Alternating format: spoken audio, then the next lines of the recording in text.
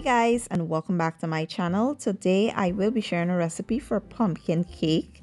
This is another holiday recipe and to get started here I have some all-purpose flour, brown and white sugar. I'll be using melted butter and oil mix. I have eggs, pumpkin puree. I'll be using some baking powder and baking soda, buttermilk and for the spices I have allspice, ginger, nutmeg and cinnamon. So to get started, we'll go ahead and combine all of our dry ingredients, starting with our spices, baking powder, and baking soda. We'll mix the combine and we'll set it aside.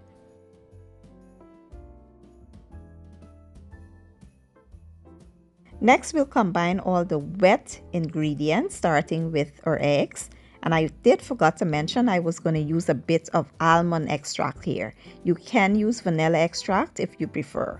We'll whisk the combine, then we'll add our oil and melted butter. We will also add our buttermilk, then we'll add our sugar.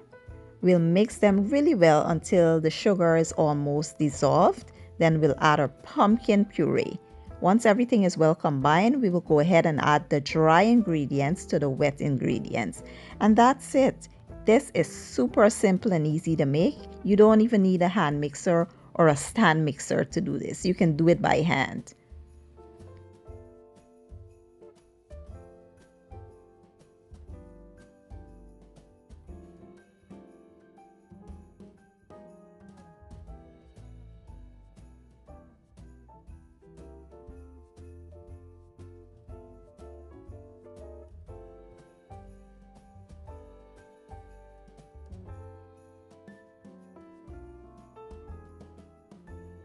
So once your batter is all set, we will be transferring this to our baking pan. I will be using a 6 inch Bundt pan and I did grease it really well before adding the batter. Now I will leave the ingredients for a full cake down in my description box as well because this is only like a half cake so I will leave the measurements for a full one and we will place this in the oven at 350 degrees for about 45 minutes. While the cake is in the oven, we'll go ahead and make a glaze for the cake using cream cheese, pumpkin puree, milk, and powdered sugar. We will just combine everything and mix really well. And that's the glaze. Super simple and easy.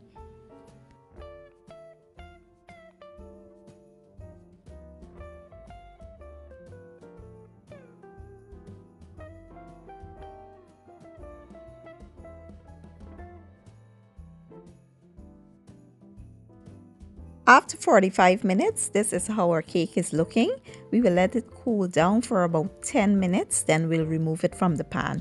Now remember, your baking time will vary depending on the size of your cake or your oven. So what you'll do is just place a toothpick or a skewer in the middle and if it comes out clean, that's how you know your cake is done. We will let this cool off thoroughly before we glaze the cake. Next, we'll go ahead and just drizzle our glaze right over top of the cake. That's all you have to do. I like making these kinds of cakes because it's so easy to, you know, put everything together. It's no hard work or no, you don't have to be a professional or anything. You just, it's just simple, quick and easy. And once we're done here, we'll go ahead and let it rest for a few minutes and then I will show you guys what the cake looks like on the inside. So look how gorgeous the cake looks guys. And it didn't take any time or effort. It was so simple and easy. Now let's cut it and see what it looks like on the inside. And I must be completely honest with you guys. This is the softest cake I have ever made. Like the texture of it, it was so unreal. Like it was unlike every, any other cake I have ever tried. Like the texture of it was, I can't even explain it. You have to try it to understand what I mean. And it is so moist. Look at that. When I cut it, it's just pulling apart. It is so amazing. And I do hope you guys give the recipe a try.